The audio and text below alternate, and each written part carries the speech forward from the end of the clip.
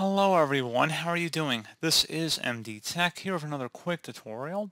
In today's tutorial, I'm going to show you guys how to resolve if you're coming across an issue on your Windows 10 or Windows 11 computer that says failure to display security and shutdown options. The sign-in process couldn't display security and sign-in options when Control-Alt-Delete was pressed. If Windows doesn't respond, press Escape or use the power switch to restart. So this should hopefully be a pretty straightforward process, guys. And without further ado, let's go ahead and jump straight into it. So all you have to do is open up the search menu, type in CMD. Best match should come back with command prompt. Go ahead and right click on that and select run as administrator.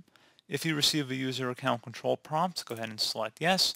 And now I will have two commands in the description of my video, guys. First one is a system file checker utility scan.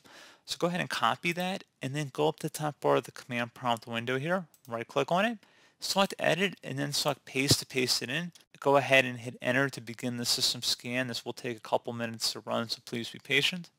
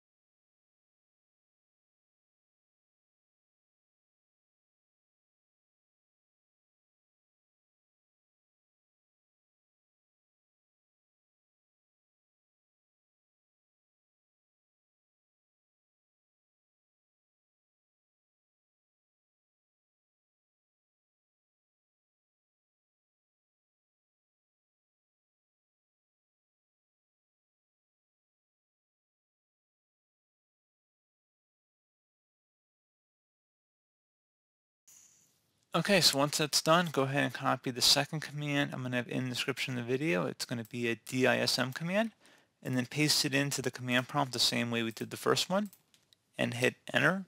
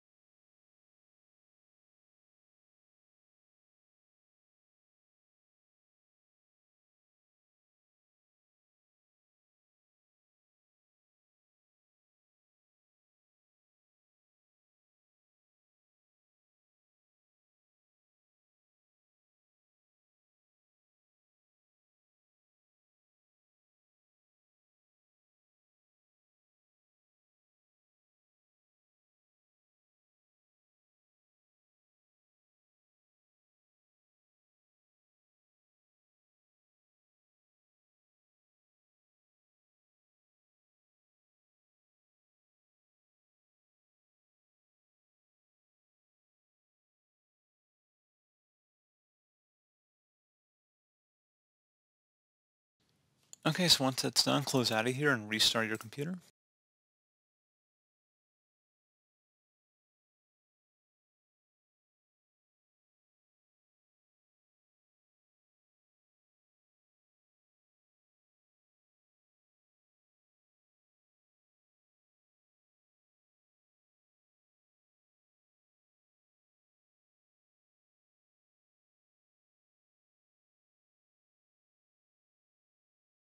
So there you go guys, hopefully I was able to resolve this issue, and as always thank you for watching, do hope I was able to help you out, and I do look forward to catching you all in the next tutorial. Goodbye.